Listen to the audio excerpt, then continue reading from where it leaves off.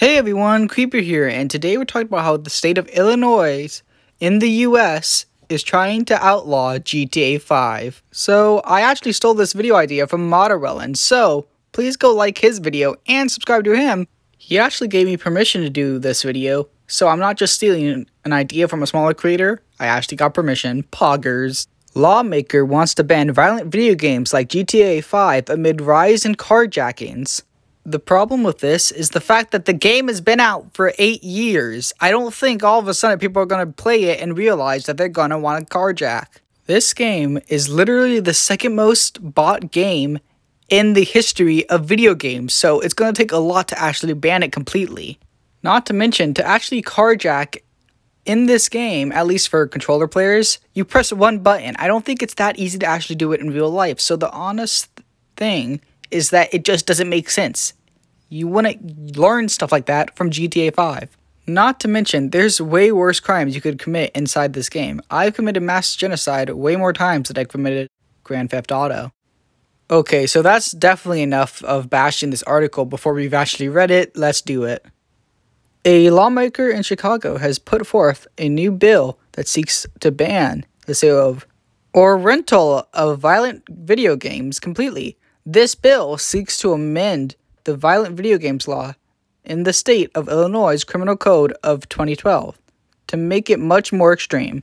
The code currently states that violent video games cannot be sold or rented to, to, minors, but the new bill seeks to ban the sale of violent video games to everyone. Additionally, the bill seeks to change the definition of violent video game to the following a video game that allows the user or player to control a character within a video game that is encouraged to perpetrate human on human violence in which the player kills or otherwise causes serious physical or psychological harm to another human or an animal.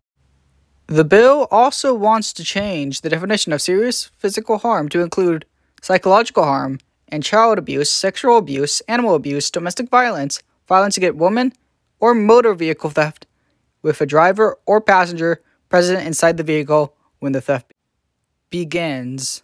The bill was introduced this week into the 102nd General Assembly by Illinois State Representative Marcus C. Evans, who sounds like an old white guy but actually is a young black guy, a Democrat who represents parts of Chicago and its surrounding suburbs. The bill has been referred to the Illinois General Assembly's Rules Committee, which is made up of three Democrats and two Republicans. A hearing date has not been set for the bill, according to the Illinois General Assembly website. Evans told the Chicago Sun-Times that he is introducing the bill in response to the rise in carjackings in Chicago. The bill would prohibit the sale of some of these games that promote the activities that we're suffering from in our communities, he said. A campaign called Operation Safe Pump, spearheaded by Philippoposis, you know what, I'm just going to keep that in because I think it adds to the funniness. I don't care. Early Walker was formed in an attempt to prevent carjackings by sending in security professional to places where this might occur. Walker said he reached out to the lawmakers in Chicago after noticing similarities between carjackings in video games and what's happening in the real world. When you compare the two, you see harsh similarities as it relates to the carjackings Walker told the Times. It's almost as if like the video game is based on real life. Chicago had 218 carjackings in January alone. It's almost as if like we're in a pandemic and people lost their jobs so they're resorting to crime. We'll report back with more details on the bill as it progresses through the state legislative. The ESA has since responded, pointing out there is no established link between violent video games and real violence.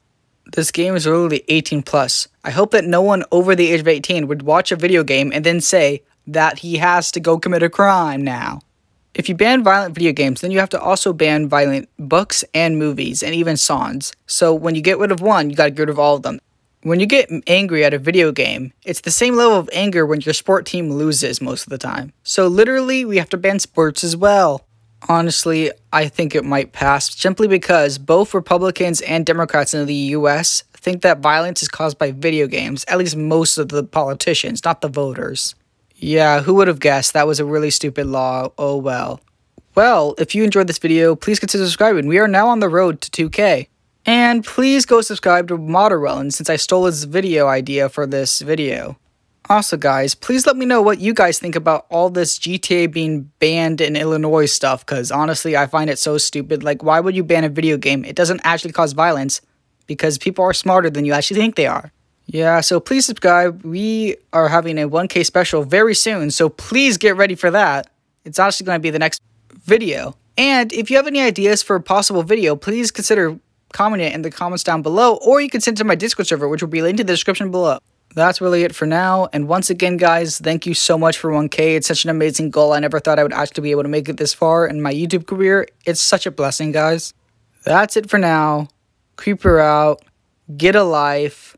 Become a femboy. Socialism is when the government does stuff and it's more socialism the more stuff it does. And if it does a real lot of stuff, it's communism.